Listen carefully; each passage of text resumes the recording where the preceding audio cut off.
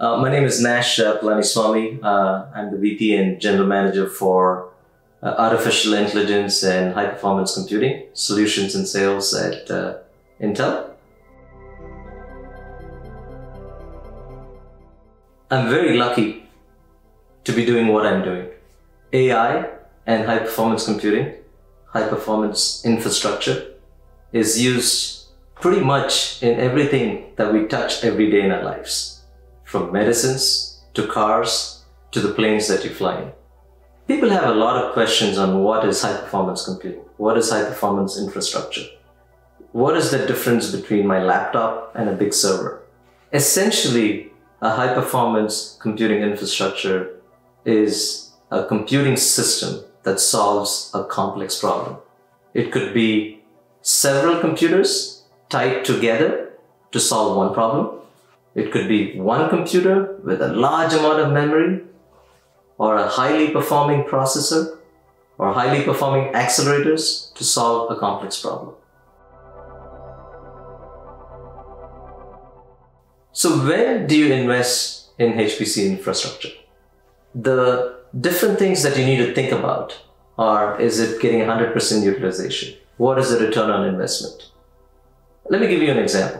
When you look at the oil and gas drilling needs to go and find oil, the HPC infrastructure there, the return on investment is huge because the cost of drilling in the wrong spot is huge and it's much, much greater than compared to the actual uh, systems that you're investing in.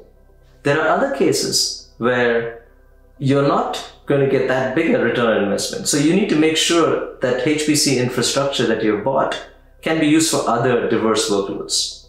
So sometimes you can use the workloads overnight to do some simulations, and in the daytime you can use it for something else. And then the question of accelerators come into play. We are in the middle of a pandemic. We have really gone full speed to go figure out what the shape of the virus is, what happens if there are mutations. Let me give you an example. A few years ago, right, there was a new technology called cryo-EM. Cryo-EM was a new technique which was invented.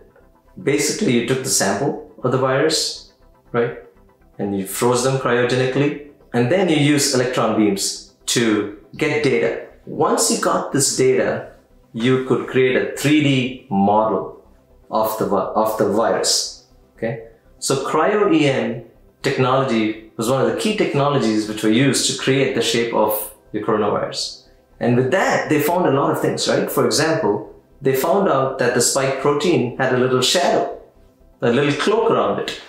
And that helped shield it from our immune system. So they used that to go figure out how to build the best vaccine, right? So HPC has really helped speed up some of this vaccine development, speed up understanding of, of the virus, and and really improve and give us a better chance of fighting this virus.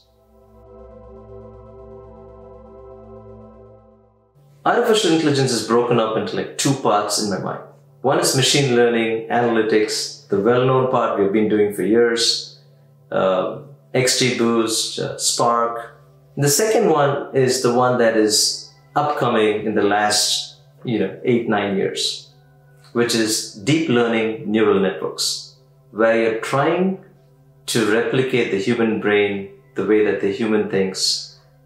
Both of them need high performance infrastructure, the AI machine learning as well as the AI deep learning. So in effect, AI is another HPC application which is running on a high performing infrastructure. And that's why you'll see that several of the AI deployments are on HPC infrastructure that is used for HPC applications. So the same infrastructure that can be used for oil exploration, for example, is a great infrastructure to use for AI uh, deep learning training. So in effect, AI is a HPC application running on high performing infrastructure.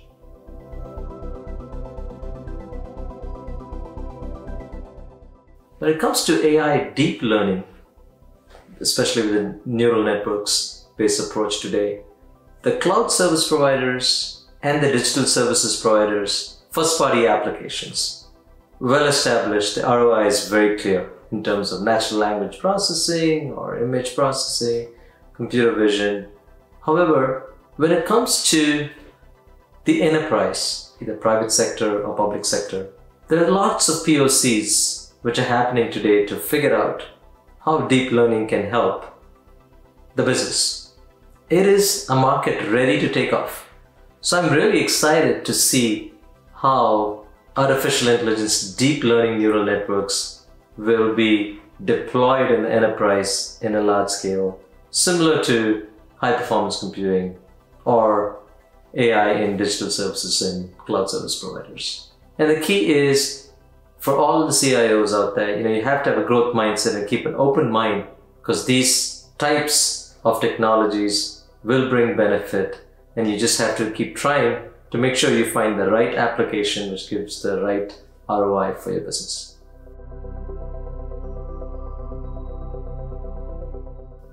I want to give you an example of what would have been like impossible if not for the cloud. This is an example with Amazon. We used AI in the cloud to solve a major problem for the people of India. Blindness due to diabetes is a big issue, especially in India. At Sankara Eye Foundation, where the eye photos were sent back to the cloud and high performance computing applications and AI work together to figure out if there's a problem and the problem needs to be addressed for the eye. Blindness due to diabetes is a big issue, especially in India. I'm from India and I'm diabetic and I have to check myself to make sure my eyes are fine on a regular basis.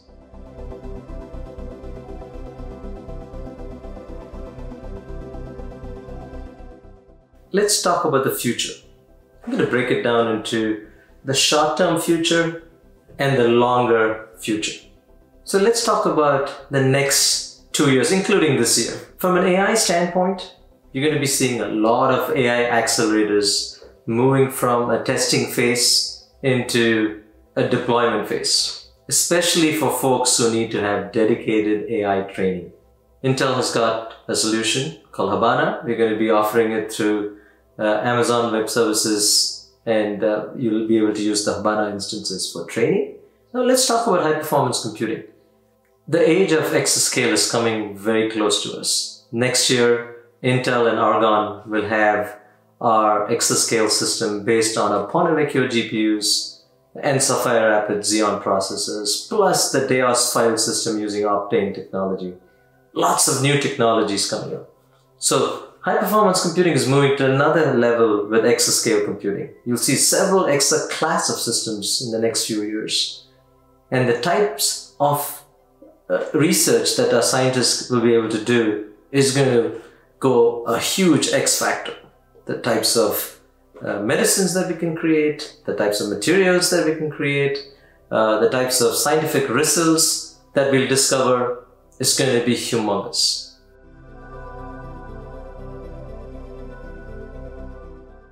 The rest now is Nash's crystal ball. Neuromorphic computing excites me a lot. It's a solution which can do both uh, training and inference in the same solution, just like the human brain and the human being, is exciting. I just can't imagine the types of applications that will enable in the edge. I'm really looking forward to neuromorphic computing becoming a reality. The next big technology people talk about a lot, which excites me also, is quantum computing. And quantum computing is not going to come and be available and it's not going to run an operating system and a cell phone. Like quantum computing is, uh, you know, very targeted to, uh, you know, those types of applications which need a large exploration space to arrive at a solution. Typically high performance computing type of applications. The types of materials that you can actually find with quantum computing uh, and with the computing that it can offer, I can't even imagine that future is exciting. I'm really looking forward to my 13 year old son and 7 year old daughter to be using quantum computing in the future, in the far future. and making a difference to every person on this planet.